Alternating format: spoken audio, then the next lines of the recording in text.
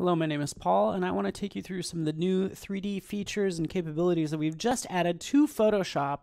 In fact, you can see right here, this looks like a still image. That is actually animation that's playing through in Photoshop. Okay, so very cool that that's happening, and that would be great. Obviously, you, or maybe not so obviously, you can add video to Photoshop, but check this out. Even as I dive into this, this is actually a 3D model, okay, that I brought in. So I can jump in, position this any way I want. If I want them to come at a different angle, or even if I wanted to adjust the lighting, I can do that actually all in Photoshop. With that 3D layer selected, going into 3D, I can adjust the point light. So I want to make sure maybe it's coming from a different position more from the window. I can move it that way, however you want to do that, and you can see how I can adjust that content.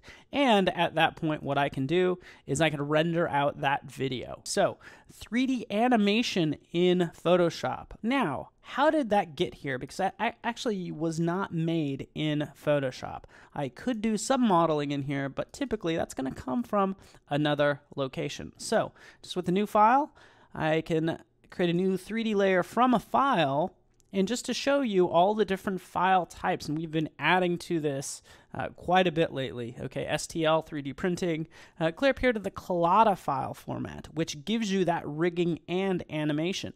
So that's what that Paladin attack is. That those are all the movements and rigging and animation for that file. As I bring it in, and again, this is just a quick example.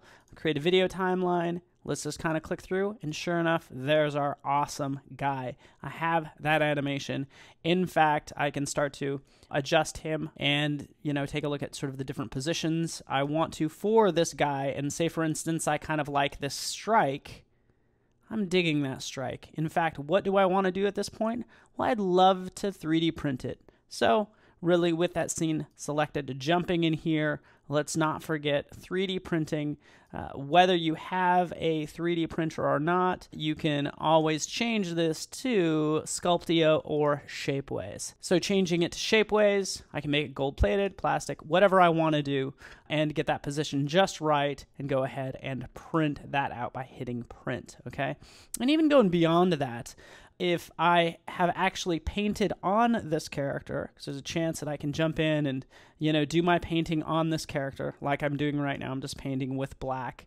Okay, not terribly exciting, uh, but you can add all your materials and textures in Photoshop, and then from there, you can do 3D and you can export out this 3D layer and at this point, I can export it out to that same folder if I want to, to the desktop. But the cool thing is, is I can jump in here and save it out as a PDF. Here's my 3D PDF being saved to the desktop, just calling it 3D. At this point, it will save that out as a PDF file for review because what I would do as a 3D artist or designer is I would save it out accordingly and then I can open it up if I'm, say, uh, the manager and check out uh, this particular file. You can see our character right there and adjust the views if I want to as well, and start to see sort of uh, all the different manipulations I can do with this 3D model, all from Photoshop, and I'm just grazing the surface. Very cool what you can do. Check it out today.